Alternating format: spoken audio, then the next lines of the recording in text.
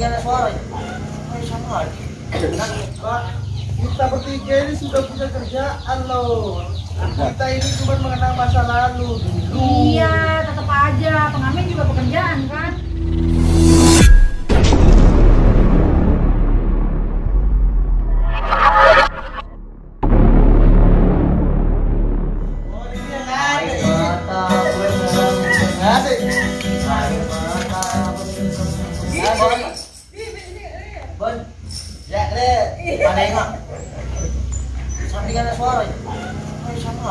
Kan, angkat kamera ada.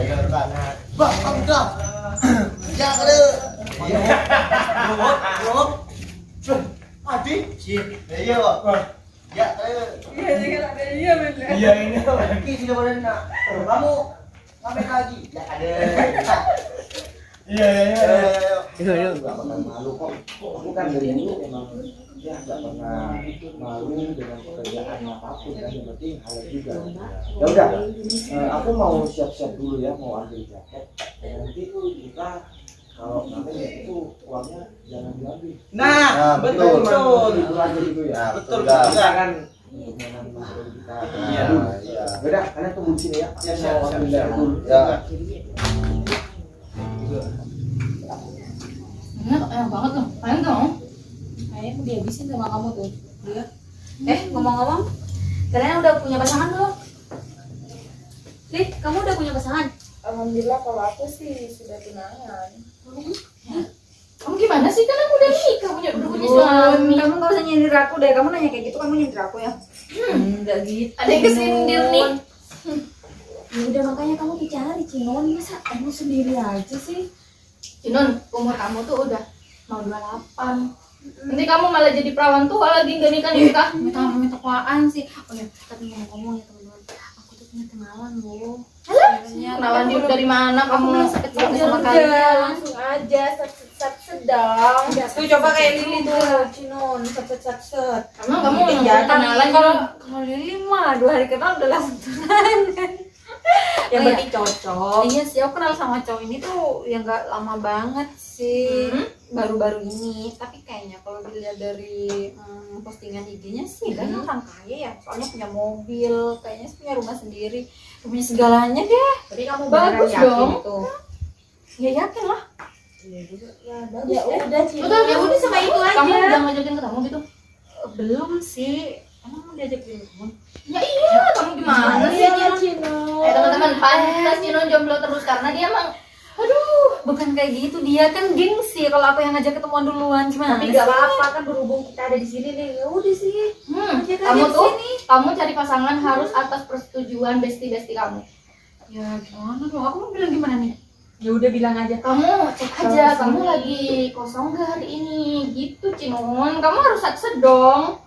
Sedih. Tapi kamu jangan bilang kalau ada teman-temanmu di sini. Nanti dia malu. Nanti dia malu, Ya udah nggak apa-apa suruh aja nih buat temennya. Ya. Ya udah deh terserah kamu aja yang penting dia ke sini. Kita kan juga pengen tahu ya Li. Udah udah udah nih udah ada chat tuh balas ntar aja kalau belum balas. Semoga aja kenalan Vicino nggak bikin malu ya. Asik, Kasian banget. asik.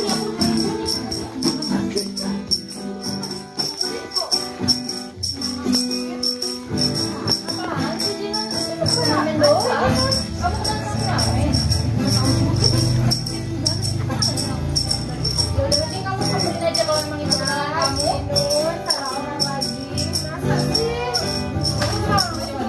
sih, Kak aja. Ah, jadi sak, jadi sak. Enggak, enggak ada pilaan, yo. Iya, jangan bangun, nah tawa. tiga Ya, ya, ya, ya, ya. Ini? Siapa dia kak? Kiloy. Ini anak-anak udah tuh. Kamu ngapain? Ya aku di sini cuma menghibur orang-orang aja. Yang mana sih, Non? Yang mana? Yang ini? Hah? Kamu yakin kenalan sama tukang ngamen kayak gini? Oh enggak enggak enggak. Aku bukan pengamen aku cuma menghibur orang-orang aja di sini Ya udah kan sama aja. Kamu ngamen sama menghibur orang itu sama aja sama-sama ngamen kan? tapi kalau ngamen kan ambil uang aku di sini nggak ambil uang kok Ya kalau kamu gak ngambil uang, kamu ngapain ke rumah ini?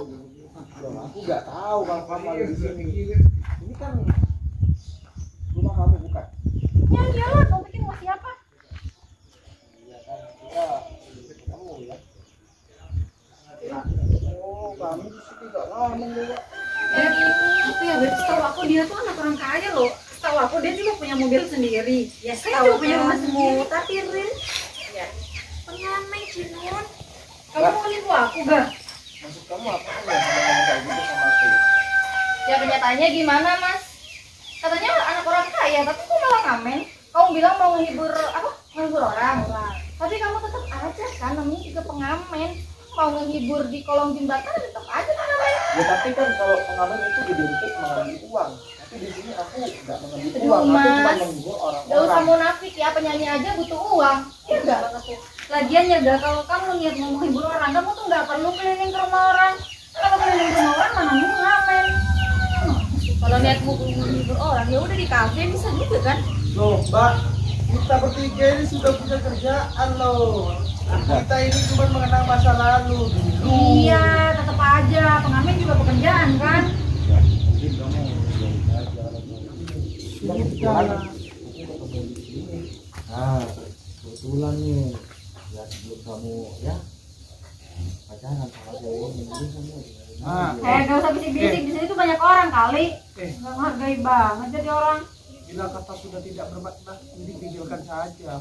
Nah, ya betul juga sih. Gimana mbak? Gimana mbak? Yang hargain orang, bukan yang mbaknya ya, yang nggak menghargain orang. Gak menghargai apaan? Jelas-jelas mas, di sini teman aku udah ketipu sama teman kamu. Mbak, aku nggak pernah ya, dan nggak akan tipu temen mbak ini. Terus menurut kamu, kamu postingannya jadi orang kaya, terus datang-datang cuma jadi pengamen, itu bukan nipu namanya? Mbak, mbak itu tanya aja ya sama kampung sini, tanya satu persatu di rumah ini, apakah betul kita bertiga ini ambil uang atau enggak? Dan tanyain, Mas bodo amat kamu minta uang mau enggak jelas-jelas kamu jual suara, kamu tetap pegang tuh gitar, terus pegang apa tuh ecek-ecek yang namanya juga ngamen lah. ya kalau Meskipun jual kamu udah suara, ngambil uang, Udah laga, kamu tuh gak usah pembelaan. Udah jelas-jelas kamu jadi pengamen. aku bukan pembelaan, aku di sini cuma ingin mengenang masa lalu aja sama. Alah, itu kan cuma alasan kamu doang. Kamu tuh udah bikin malu aku di depan temen-temen aku, tau nggak?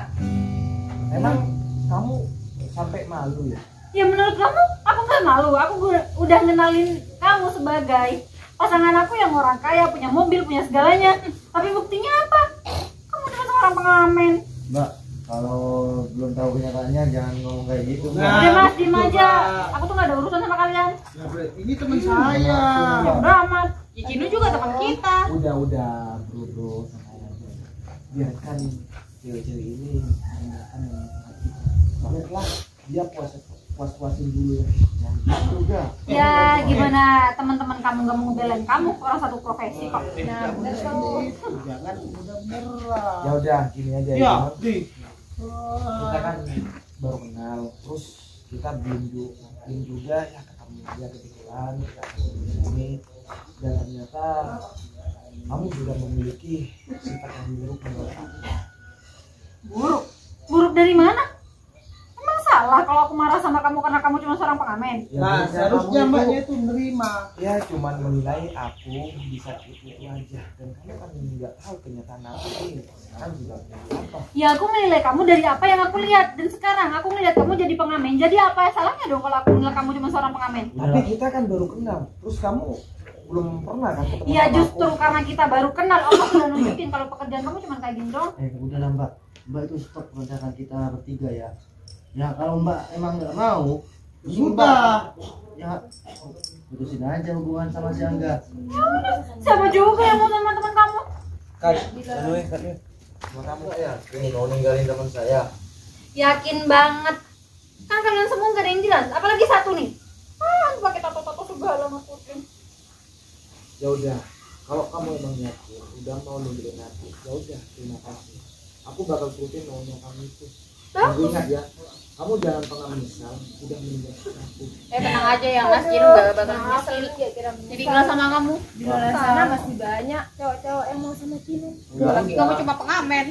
Kamu Ya udah itu- sih pergi aja kamu kamu itu bersyukur hari ini ya sudah ya. Nampak sifat kenalan kamu ini ya betul banget di jadi aku nggak perlu ketemu dan nggak perlu ya nyaman-nyaman apa lagi Ya iyalah, aku juga nggak perlu nyari tahu kamu siapa sebenarnya. Dan kamu sendiri yang udah nunjukin kamu sebenarnya eh cuma biasa aja. Aku nggak sampai melakukan kamu seperti ini. Kenapa? Kamu sakit hati sama sikap aku? Kalau kamu sakit hati sama sikap aku, mending kamu pergi aja dari sana. Gak usah ke sini lagi. Aku tanya sakit hati sama kecewa sama kamu. Ternyata kamu itu Kamu yang kecewa sama aku. Nggak kebalik. Seharusnya tuh aku yang kecewa sama kamu jadi sekarang kamu nggak pengen tahu ibu ibu satu ini sebenarnya sudah seperti apa Ngapain aku harus tahu identitas kamu Sedangkan aku juga udah tahu kan kamu siapa Sudahlah bro, ini belum jadi aja sudah seperti ini. hmm, ya gitu. Mbak mbak kan orang pendidik pendidikan kan seharusnya kalau orang pendidikan itu ngomongnya kayak jangan kayak gitu mbak hargailah seseorang Eh mas, emang kenapa omongan temen aku? Ada yang salah? Bener kok semua yang dia omongin? Dan Kalau udah terima? Ya udah, gak usah deket-deket sama teman kita. apa perlu aku kasih identitas aku yang sebenarnya? Gak usah gak, makasih. Kamu tuh mau, nun- mau nunjukin apa lagi sama aku? Ya udah biar gak ada selama di sini aku bakal tahu identitas aku ini sebenarnya. Aduh, kamu gak jelas banget ya Cino banget, tahu tuh kalau udah ini kartu nama aku ya kamu bisa baca dan aku bukan pengamen di sini Si Cinun, penghiburan. Apaan sih ah?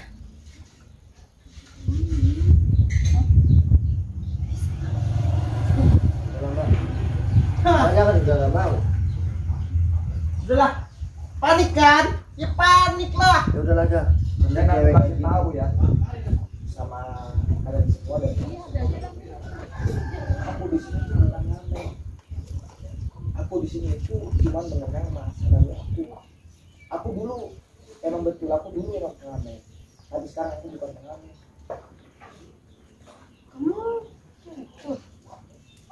Bentar. Itu bukannya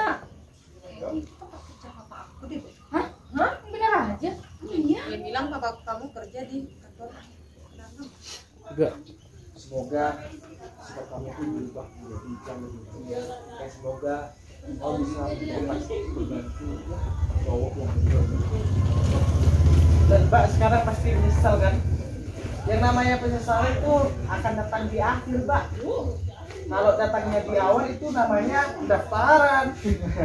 ya udah itu yuk. Adi kita lanjut pulang oh iya oh iya mbak. Mbak itu harus menghargai orang. Kalau mbak emang mau dihargai. Ya udah ya udah